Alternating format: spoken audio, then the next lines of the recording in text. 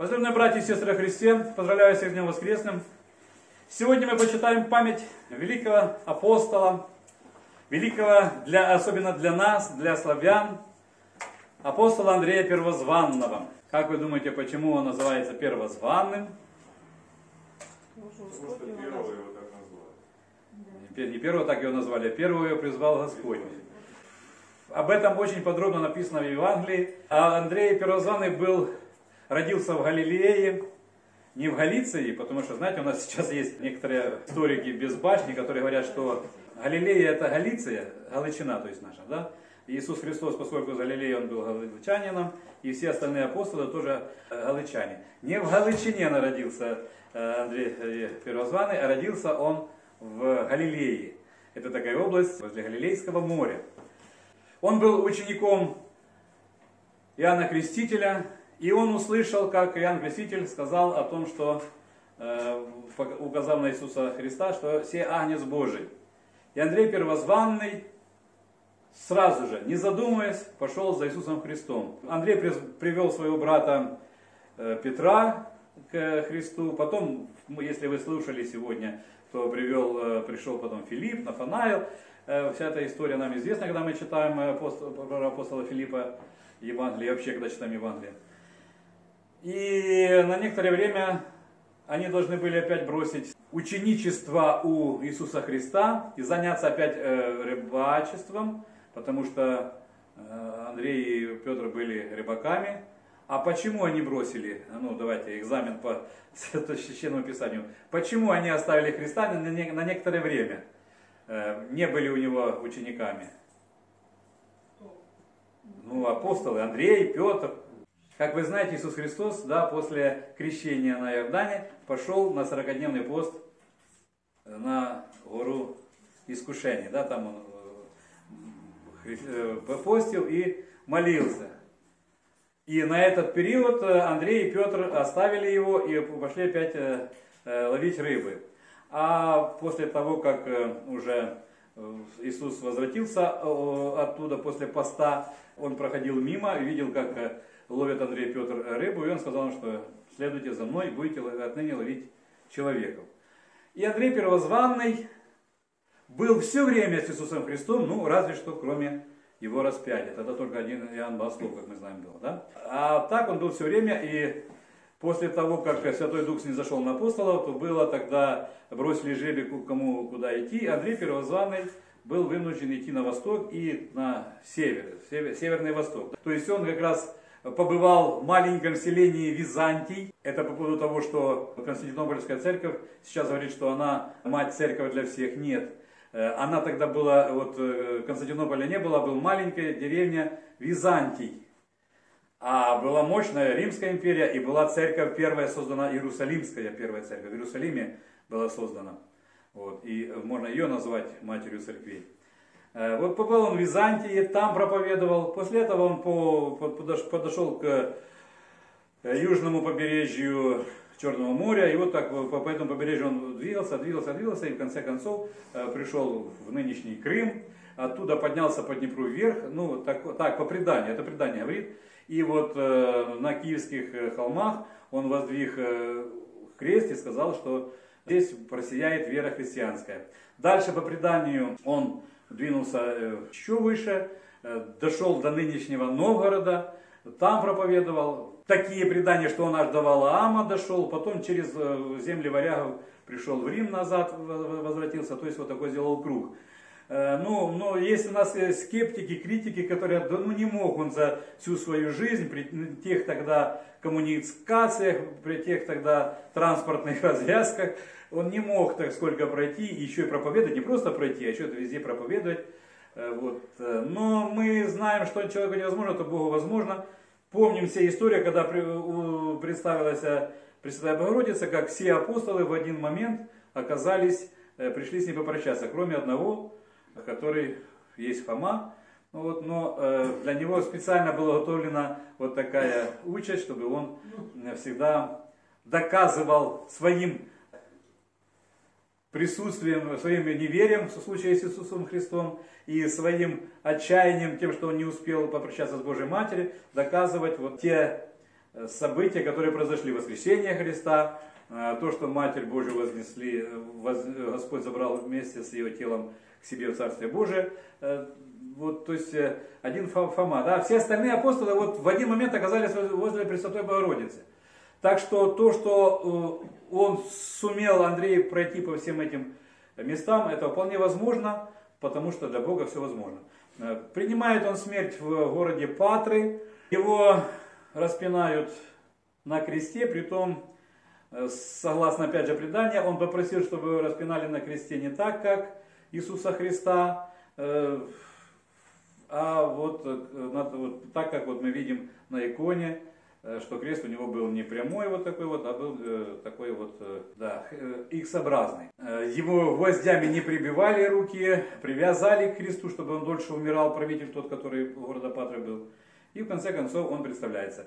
Для нас этот апостол очень почитаем для наших земель, потому что мы верим в то, что он бы побывал в наших землях и проповедовал. А даже если и не проповедовал, то получили мы крещение, крестили Русь византийские э, епископы, которые вот как раз э, в Византии он точно был. Это мы уже точно знаем, что он был там, потому что э, недалеко от Иерусалима. Туда он точно мог дойти, да, и он там проповедовал, и мы получили крещение оттуда, потому э, независимо от того, точно ли предание то, что было он здесь, хотя мы в это глубоко верим, вот, или нет, но все же мы получили. Э, апостол Андрей Первозанный является для нашего для нашей церкви апостолом, который проповедовал нам. О сегодняшнем Евангелии. Сегодня читалось э, Евангелие о том, как Иисус Христос пришел в синагогу.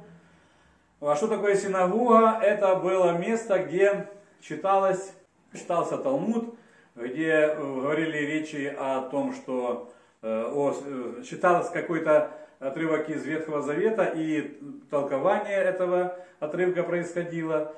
Что такое, почему они появились, эти синагоги? Это было, появилась она, а- они во время пленения Вавилонского иудеев, поскольку они не могли попасть в Иерусалимский храм, где приносилась жертва. Вот, они вот создали такие вот, э, сначала мобильные, а потом уже стационарные, э, такие вот э, помещения, где можно было бы вот собираться иудеям и читать вот то, что я говорю, Тору, э, то есть четырехкнижие, э, или и Талмуд, и вот это все толковать, э, беседовать между собой. По возвращении в иудеи из Вавилонского плена, а плена они это все распространили по всему, по всей Иудее, по всему Израилю. Ну, если взять по, нашему, по нашим меркам, то это часовня. Вот, православие это часовня, да, это место, где не- не- небольшое, где мо- можно почитать Евангелие, где служатся какие-то такие службы, э, кроме э, литургии. Ну, э, иногда, когда престольный праздник, в этой часовне, да, туда выносные какие-то там привозятся э, престолы, и на них служится литургия, но в основном это не, не для, не для совершения жертвы. Во время собрания такого в синагоге евреев в субботу, туда пришел Иисус Христос.